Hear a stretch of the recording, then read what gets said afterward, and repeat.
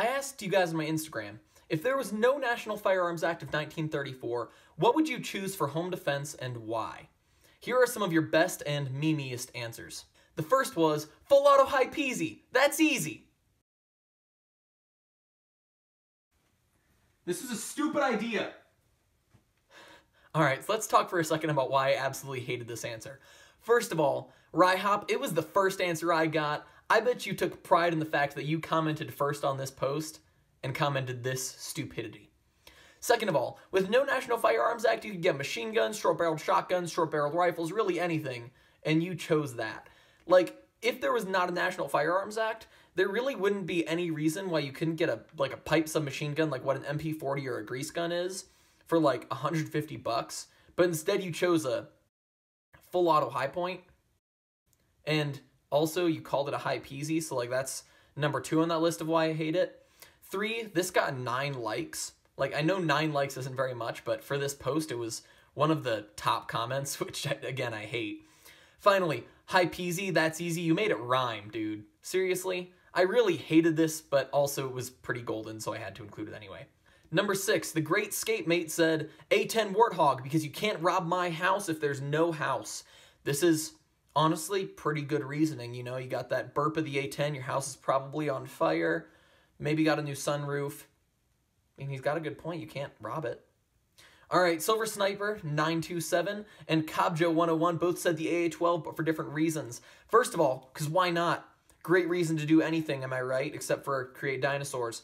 Second of all, they can confidently scare them off with beanbag rounds. Now, like, if you're looking for a less lethal option, a beanbag machine gun is pretty good for the less lethal option. Like, it's not going to kill anybody, but it will make sure that they never come back into your house. So, I approve of that one. Rocky YG said he would have a Browning 1919 A6 because he only needs to be at the top of his staircase.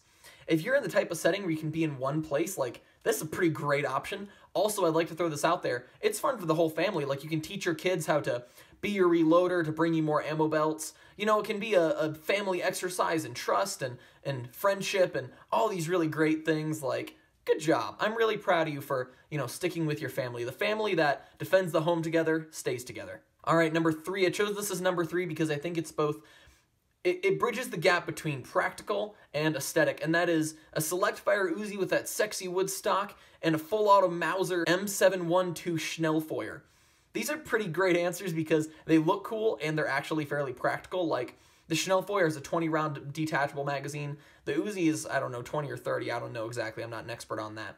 But in either case, it's as submachine guns, you've got a lot of rounds of a small thing, really fast. They're kind of like that PDW category. Really great for home defense if you got to do a lot of moving. Number two, probably the most practical. A Shorty 300 Blackout. Select fire, you know, you can get that machine gun now since you have the freedom. They A lot of these guys mentioned having a can or a suppressor on there, and that's kind of a thing up for debate that you guys can talk about in the comments if you want to. But 300 Blackout is good because it's got good ballistics inside the home. It's not going to overpenetrate too far. But if you need to go outside, you can still engage to a somewhat reasonable range for still making sense defending your home. All right, finally, my personal favorite answer. Selectively placed claymores. If he makes it through, I'll let him have whatever he wants. I only hope he remembers how he made it through and he leaves. The image of this is just hilarious. Arming all of these claymores around your house before you go to bed so that if somebody comes in in the middle of the night, they'll have a nasty surprise waiting for them. It's pretty funny. Although the only problem is what happens if you forget where they all are, then you've got trouble with that too. Our question for next time that you can comment down below is this. If Ian McCollum was actually in the next John Wick movie, you know, that's been a thing we've been talking about recently. If he was actually in the next John Wick movie, what gun would you want or what gun do you think he would give John Wick to use? When I got to 100 subscribers, I wanted to give away a Pocket Monkey. It's a little multi-tool that you can stick in your wallet. I have one and I got a second one, so I wanted to give it away to one of you. So at 100 subscribers, I'll do a video about how that works.